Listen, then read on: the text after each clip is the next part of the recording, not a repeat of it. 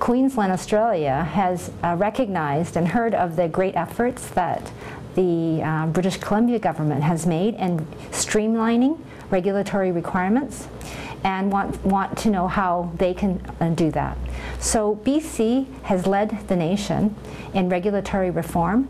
My uh, goal is to make sure we don't let our um, foot off the gas, but we continue to make um, uh, forward uh, you know, movements to ensure that we don't let regulations start creeping in and we don't do things that um, present you know, uh, business owners with uh, red tape and um, barriers to being productive and spending their time doing things other than to um, report unnecessarily to government.「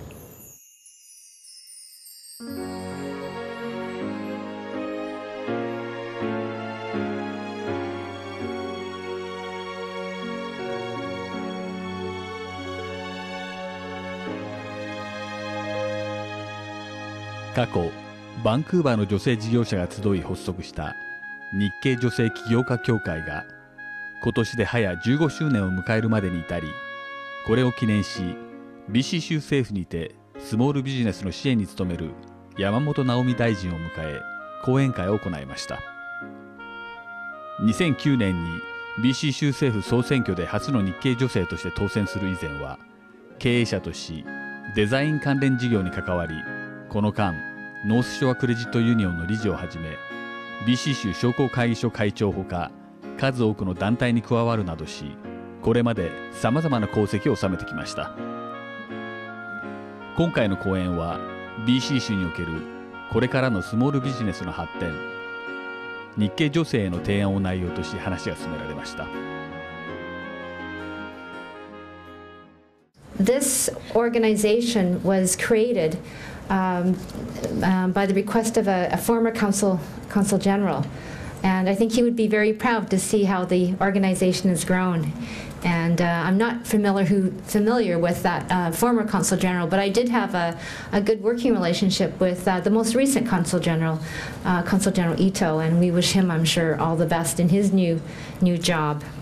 My um, mother and father were born in, in British Columbia, and my, uh, and I was born here and my grandmother was born here.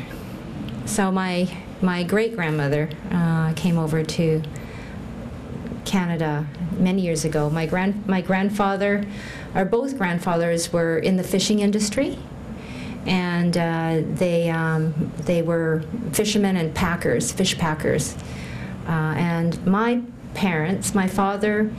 Uh, went to the University of British Columbia. He has a PhD in, in biochemistry and became a research scientist.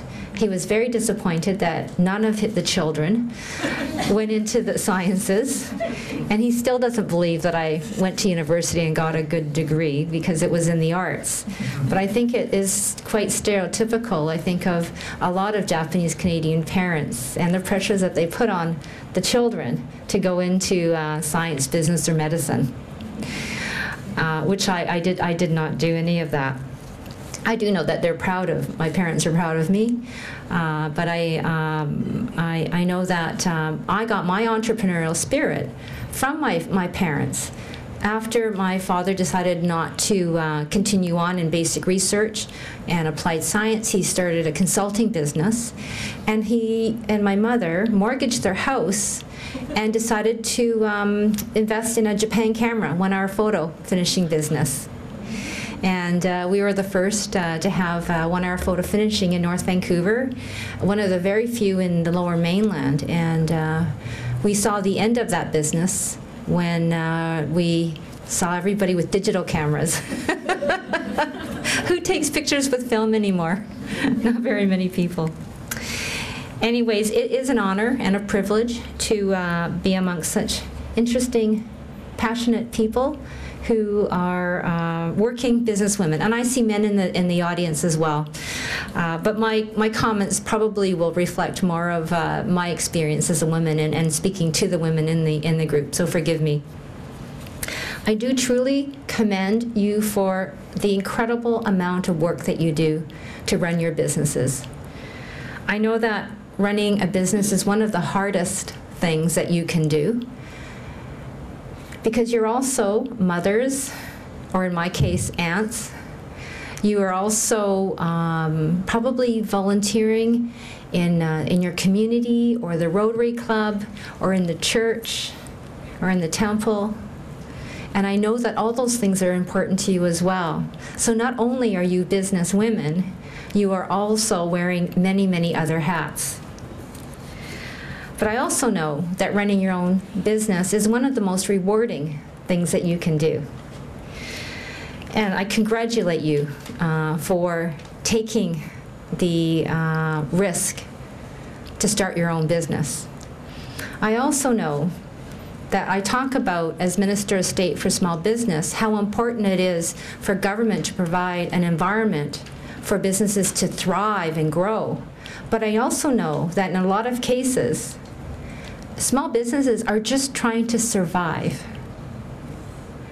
And I know that as a small business owner, more than once, I kept my paycheck in my pocket to ensure that my employees were paid first.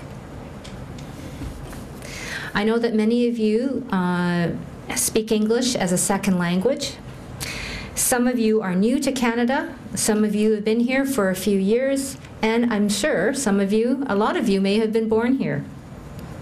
But you've turned those challenges into assets, and your businesses are thriving, and congratulations to you. And I'm not sure if you are aware of this statistic, but really it's only recently that women have joined the um, entrepreneurial world.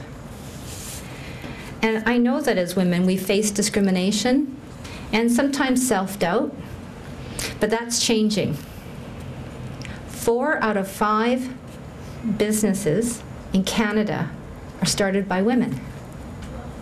Four out of five. And I don't have a recent statistic, but I also do know that women have a um, better chance of succeeding in their business, a slightly better chance than men. And it's something to do with paying more attention to detail and being very cautious and not expanding too fast.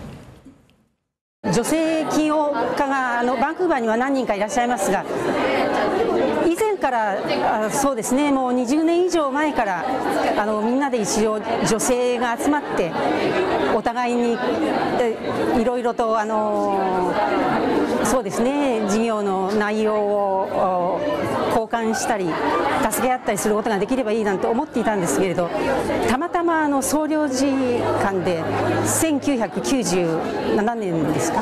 にあの女性の企業をしている方のバンクーバーに住んでいらっしゃる方ということでお食事にバレンタインズデーの日にあの招待していただきましてそれがきっかけであ皆さん集まりましてその時は多分10人前後だったと思うんですがその人たちがそれでは女性企業家の会を作りましょうということで始まりました。